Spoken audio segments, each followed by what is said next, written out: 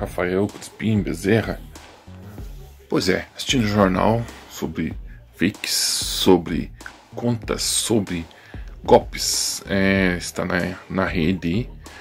A Polícia Civil, como também a Polícia Federal, está na cola dos indivíduos que usam a Caixa Econômica, a, como também bancos, a fazer atestados de pagamentos, contas comprados com seu cartão e manda lá um, um tipo de um sistema no seu caixa de entrada do seu e-mail para você confirmar, para você enviar dados, para você telefonar. Não faça isso. Qualquer coisa, entre em contato com o seu banco e verifique com seu direito.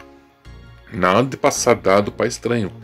Nada de passar senha para estranho, quanto menos seus documentos. E evite clicar na caixa de entrada do seu e-mail sobre qualquer coisa relacionada ao seu banco. Quer dúvida? Quer tirar, tirar tema? Vá lá no teu banco, fala com o seu gerente, onde você vai conseguir uma resposta melhor, um atendimento melhor.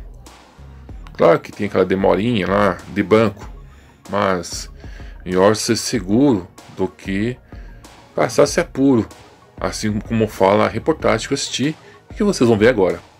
Bora lá cartão de crédito, ele está segurando a ligação e na verdade você não está fazendo uma ligação para o telefone do seu banco. Você está fazendo a ligação para um telefone mascarado. É importante que o consumidor sempre faça para si mesmo a pergunta.